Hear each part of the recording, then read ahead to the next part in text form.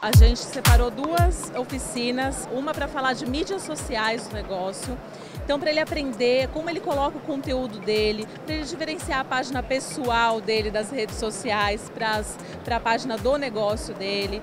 Então, ele vai ver aqui muito menos criar a página, porque isso é fácil. O problema é gerenciar essa página, né? Então a gente preparou falar do conteúdo, como é que se portar, como é que comunica através das redes sociais, das mídias sociais.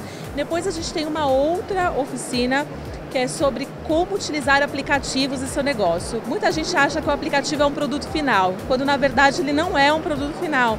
Ele pode ser usado, por exemplo, para gerir o estoque da empresa, ele pode ser usado para o agendamento do serviço dele, não como produto final e a gente tem que saber muito bem como é que a gente encomenda um aplicativo, o que, que a gente leva em consideração, o que, que precisa, né? Utilizar aqueles templates prontos de ferramentas gratuitas na internet é legal? Às vezes não, porque ele não consegue depois hospedar em nenhuma loja para baixar. Então a gente dá todo um panorama da utilização de aplicativos, como ele faz isso, como ele encomenda, o que, que ele leva em consideração dentro do contrato com uma empresa. Então a gente dá todas essas dicas nessa oficina. A procura é enorme, já chegou assim 10 da manhã, 10 e 10, eu já tinha a lotação máxima da primeira oficina. Mas está sendo bem bacana, acho que vai ser nos quatro dias lotação máxima o tempo todo.